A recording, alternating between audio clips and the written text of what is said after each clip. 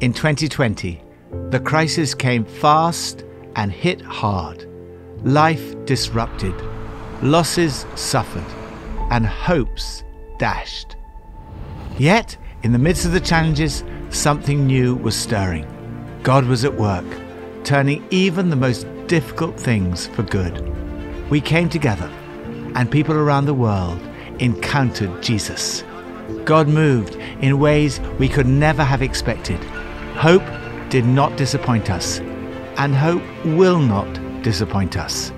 And right now, we can share this hope, the love of Jesus, with those around us.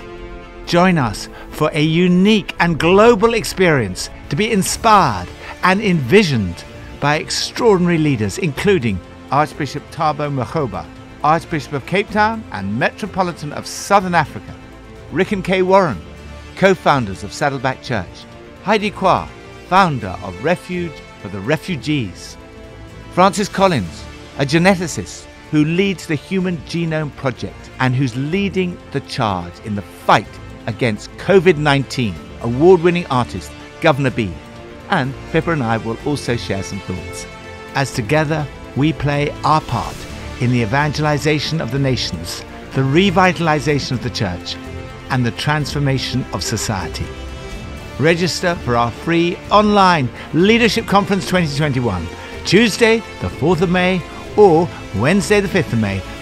leadershipconference.org.uk.